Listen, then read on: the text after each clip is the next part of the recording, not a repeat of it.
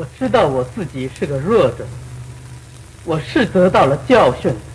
不过，呃，大哥，你的“不过”“但是”这两个字用的太多了，所以你是得到了教训。教训，我得到的教训太大了。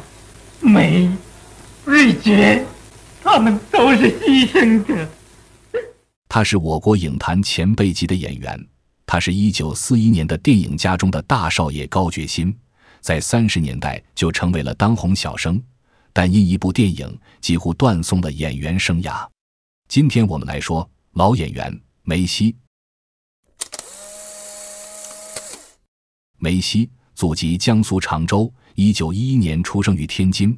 祖父曾是清代诗人梅葆禄，少年时期曾短暂在北平求学，毕业后留校做了一段时期的体育教员。一九三一年，梅西来到上海，报考明星影片公司演员班。一九三三年首登银幕，是在李平倩执导的电影《丰年》中扮演王阿狗。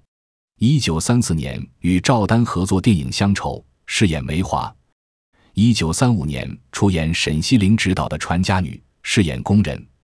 转年受邀加入联华电影公司。一九三七年先后参演电影《莲花交响曲》。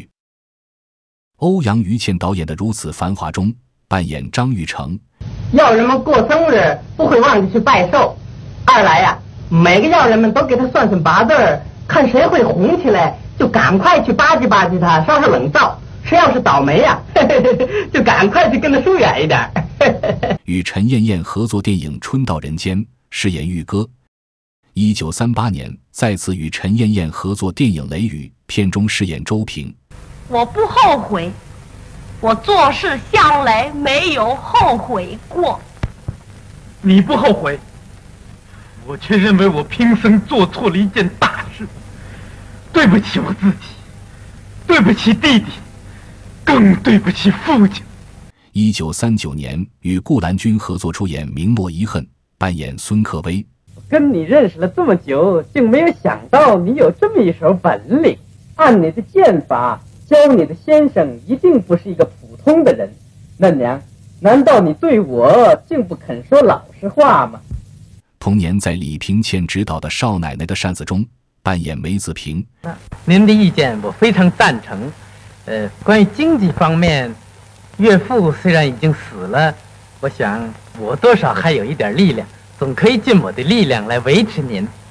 呃，关于同恋爱见面的一层。我想还有商量的必要。与白虹合作电影《王熙凤大闹宁国府》，一九四零年出演电影《木兰从军》，饰演刘元度。你最好扮一个三帮女子。胡说！我怎么好扮女人？为了国家性命都可以不要，扮一回女人算得了什么事？只怕办不像。你呀，不办都什么？对不起，别生气，回头见。这个角色使梅西成为最卖座的演员。一九四一年参演卜万仓、徐新夫执导的《家》，片中饰演大少爷。你们要知道，我心里是多么的伤感。就是些伤感有什么用呢？大哥，你什么事都是低头屈服。你们的话是不错，我都明白。可是我的处境，我的苦衷，也只有我自己明白。一九四四年出演袁美云、周璇领衔的《红楼梦》，饰演贾政。既然这样疼他，想替他成家，做儿子的还能不答应吗？不过薛家的姨妈是不是肯这样做？同时宝玉还病着，做起来是不是方便呢？同年参演王丹凤主演的《春江遗恨》。我相信一个文明的国家是不会没有信义的。他们和我们同样是基督教徒，目前我除去信任他们之外，还有什么可说的？这部影片因主题太过露骨而遭到抨击，这一度使梅西一蹶不振，暂别影坛。这一别就是四年多。一九四八年重返影坛的梅西。再也没有往日风光，接连拍摄了《魂归来》《断肠相思》等影片，但反响平平。一九四九年，梅西赴山东，考入华北人民革命大学，毕业后分配至中国青年艺术剧院任演员。整个五十年代，精力都投入到了话剧舞台，期间出演了《刘胡兰》《文成公主》等话剧。一九五八年，参演金山执导的《十三陵水库唱响曲》，扮演李豪。你们是战斗的英雄将，也是建设的大好佬。怎能安邦无定国？放下枪杆就拿狮子高。一九五九年，出演李翔主演的《风暴》，饰演林瑞和。你也得少看点，这么小的字儿，把眼睛都看坏。您也去上夜校吧。我，哼，连自个儿的名字也不认识，还上夜校？哎，不要紧。您先去听我们讲故事，听多了，您的心就亮了。好吧，您试试。一九六二年，出演程荫执导的《停战以后》，饰演谢红。抗战胜利以后，人心大快，叛蒋回来，回来不几天，北平就被这些接收大员搞得乌烟瘴气。真是像人们所说的“盼中央，想中央，中央来了更遭殃”。人们最怕的还是战争，总是以和为重。转年，梅西调入北京电影制片厂。六七十年代，由于出身和角色问题，使梅西受了不少罪。但好在七十年代末恢复了名誉和工作。一九七九年，参演《耐人花》领衔的汝燕飞扮演老部长。小姑娘，我哪比得上孙猴啊？他能七十二变，我可办不到啊！我只能变把椅子。一九八一年出演曾卫之导演的《剑魂》，饰演老馆长。